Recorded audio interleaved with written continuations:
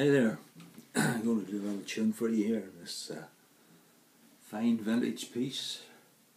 So saved from the skip one day. Anyway, I hope you like it.